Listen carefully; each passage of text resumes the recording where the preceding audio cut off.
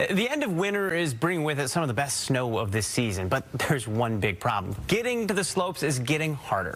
We have team coverage. Erin Mayovsky is tracking the storm that is hounding mountain roads with snows we just showed you. But first, we want to head out to Fox 13's Brisa Mendez. Yeah, she's been catching up with some very excited skiers.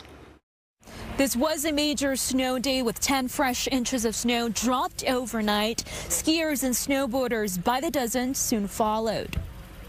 Uh, it's been absolutely amazing today. It's been blower. We got like 10, 15 inches overnight. It's been insane. Uh, the best day of the season, maybe. Luke DeQuetti spent the day making tracks across the resort, starting his runs with a quick safety check. A lot of fun. Deep snow, good tree runs, and you know, ski patrol's doing their, their thing and they're blowing avalanches. It's super safe.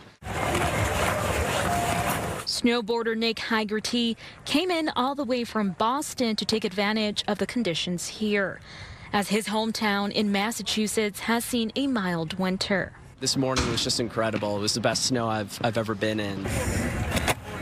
Stevens Pass recorded 15 inches of snow in the last 24 hours, but Director of Mountain Operations Vince Arthur says he wants to see more. So the snowpack's a little light. Um, like we average about 450 for a season. We're a little light on that, so we're hoping for the miracle March if it if it happens. But what's good for the resorts may not be so good for the roads. WashDOT tells me they are keeping a careful eye on likely avalanche areas. We are out there. We have um, crews round the clock. We have uh, incident response teams uh, patrolling, um, and we just want to work together for everybody to be able to safely get to their uh, destination.